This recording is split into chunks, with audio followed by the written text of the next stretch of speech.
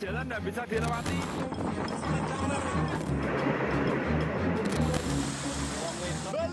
Meski sudah dilarang warga, sejumlah pengendara ini tetap nekat menerobos banjir di Jalan Kaligarang, Unggaran Barat, Kabupaten Semarang, Jawa Tengah, Rabu petang.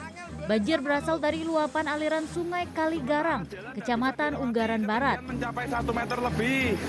Akibat luapan Sungai Kaligarang tersebut, sebuah sekolah serta sejumlah rumah di Jalan Kaligarang dan Desa Sembungan, Unggaran Barat terendam air setinggi kurang lebih 20 cm. Sebuah kapal cepat tujuan Nusa Penida Sanur tenggelam di perairan Ketewal, Kabupaten Gianyar, Bali, Selasa sore. Peristiwa ini sempat direkam warga dan viral di media sosial. Sebanyak 28 penumpang yang seluruhnya wisatawan asing serta enam kru kapal berhasil selamat dan dievakuasi ke Pelabuhan Sanur.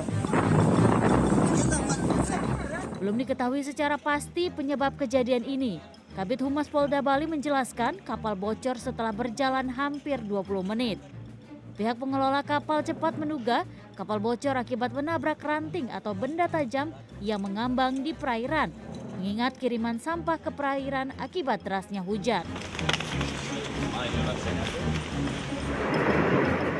Angin puting beliung disertai hujan deras menerjang dusun Cibogor, Desa Panawangan, Kecamatan Panawangan, Kabupaten Ciamis, Jawa Barat, Rabu petang. Data dari petugas BPBD Ciamis, ada sebanyak 55 rumah yang mengalami kerusakan. Satu madrasah, satu masjid, serta satu kantor kecamatan. Tidak ada korban jiwa dalam peristiwa ini, sementara kerugian masih dalam pendataan.